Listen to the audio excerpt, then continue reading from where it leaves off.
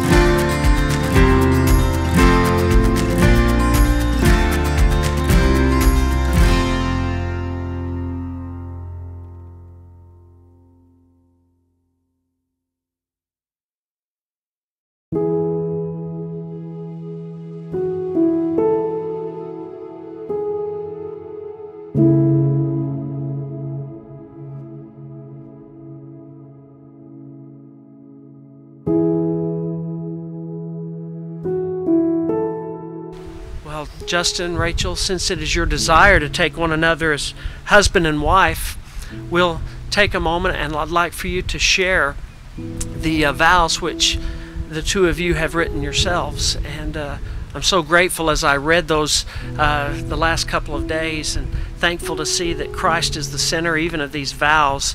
And so, Justin, we'll start with you and you can you can speak to Rachel. Darling, looking back at our first few dates on that cold November weekend, I felt like static electricity, stuck to you. Then, shortly after that weekend, you had an 11 hour flight to catch. I remember as you walked into the terminal, and all I wanted was to run up to the ticket booth and buy the next flight out. I told myself it was only seven days. Only seven days. We had just met, and that feeling of unrest I had felt should not have been so difficult. Now, I think of the of our time spent together and how we haven't spent more than 36 hours even apart, even when we lived more than an hour apart from each other. The countless hours of happiness and love we have shared and being side by side is a simple joy of life, but a strong foundation that grows our love every day. Then I didn't have the clarity that I have now. For a while, I kicked myself for not getting on that flight, but booking the ticket and going. The Lord needed to prepare me, to prepare me in the immense ways that you love me, the deep and profound ways that you do. This is when I knew that you are the love of my life, my darling. So this I vow to you this day and forevermore. A love of humility, as Paul wrote in Philippians. If then there is any encouragement in Christ, if any consolation of love, if any fellowship with the Spirit, any affection and mercy, make my joy complete by thinking by thinking the same way and having the same love, united in spirit, intent on one purpose. This is what I see for our life. This is how I intend to love you every day, in the same profound and deep ways Christ loves each and one of us. Rachel. Justin, today marks the beginning of our forever. I have found the one whom my soul loves. I knew since the first day we met that there was something special about you. On the chilly morning of our first date, I was met with the warmest embrace right from the start and a smile that lit up the whole room. In a moment of meeting you, I somehow felt like I had already known you my whole life. And by the end of that date, when you had accidentally helped yourself to my water, I knew that I wanted to share a lot more things with you. You are the love of my life, and you make me happier than I could ever imagine, and more loved than I ever thought possible.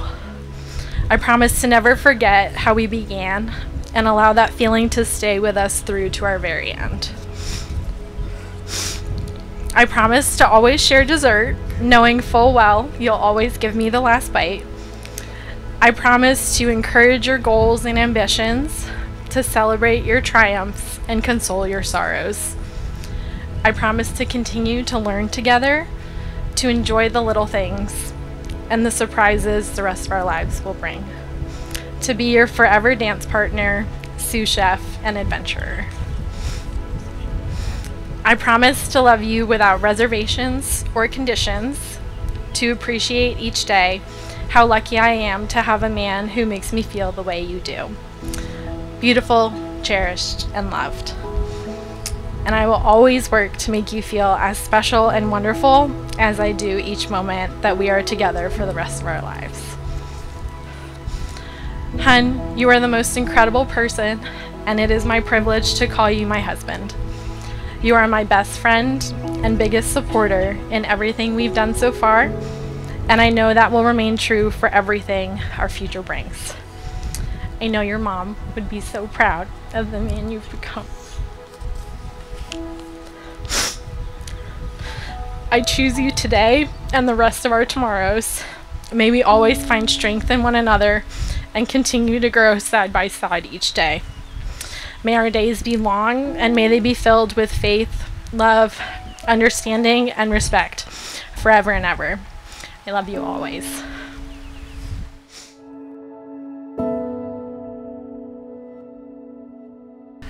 It is my pleasure and my honor to now pronounce you husband and wife in the name of the Father, the Son, and the Holy Spirit. You may kiss the bride.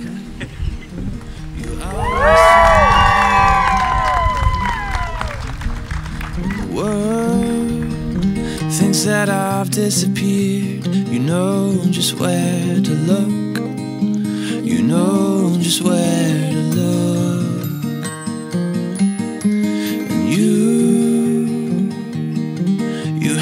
Have a heart of gold. I love how I've watched you two grow together and the connection you have, the intelligent conversations you guys have on dates, and the plans you guys uh, have for a wonderful future together. I'm proud that a best friend of mine was able to find someone as great as you to call his wife. Lastly, I'm fairly new to the married game, and with only three years in it, it just bear with me because I know I'm new. I only advice, the only advice I want to give to the newlyweds is about the rings. Though this ring is small, this is a symbol to everybody that you guys have built and will build. No matter what our families might joke about and what people might say, this ring does not get tighter if you're going out with friends having a drink. This ring doesn't just fall off over the years when you're on vacations or at work. This ring stays the same throughout your life, and it'll be everything you two stand for. And I know y'all will cherish it and live your lives as a married couple as one. I love you both like family. I wish you nothing but the rest of your, the rest of your, sorry, for the best for the rest of your lives together. So, to Justin and Rachel. Cheers, guys. Just because I can.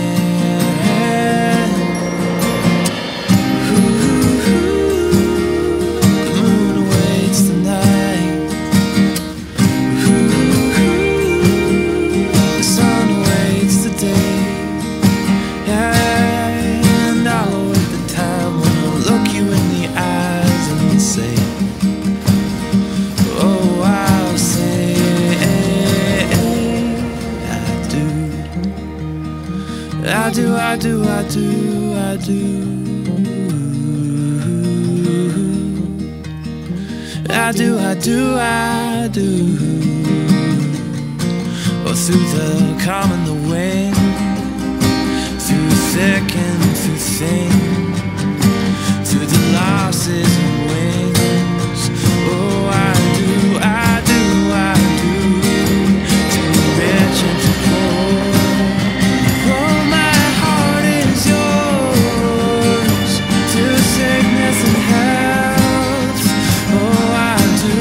I do,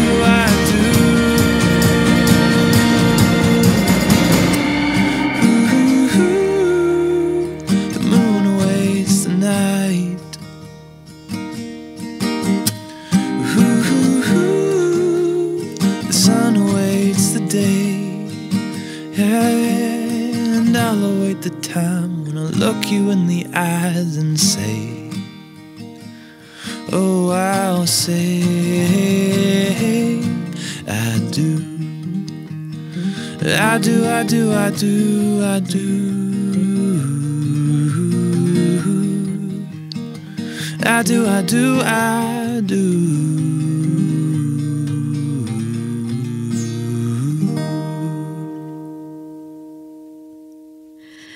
Justin I have waited my whole life for a brother.